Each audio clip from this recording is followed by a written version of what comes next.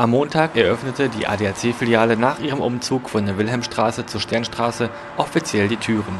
Manfred Wölke, Geschäftsleiter der Filiale, erläuterte den Grund des Umzugs und sprach über die Standardangebote einer modernen ADAC-Filiale. Die Wilhelmstraße, das lag doch schon ziemlich außerhalb, war auch nicht mehr so frequentiert, wie das jetzt, wie wir es jetzt erhoffen hier in der Stadt. Außerdem ist es so, dass äh, wir uns auch in der Geschäftsstelle vergrößert haben. Äh, sind gute 173 Quadratmeter Verkaufsfläche, die wir jetzt hier haben. Und was natürlich auch ganz wichtig ist, äh, für die Kunden haben wir jetzt auch Parkplätze.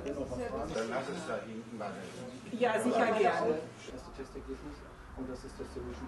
Das ist äh, der Standard jeder ADAC-Geschäftsstelle, das Warenangebot, Versicherungsangebot sowie auch Reisen.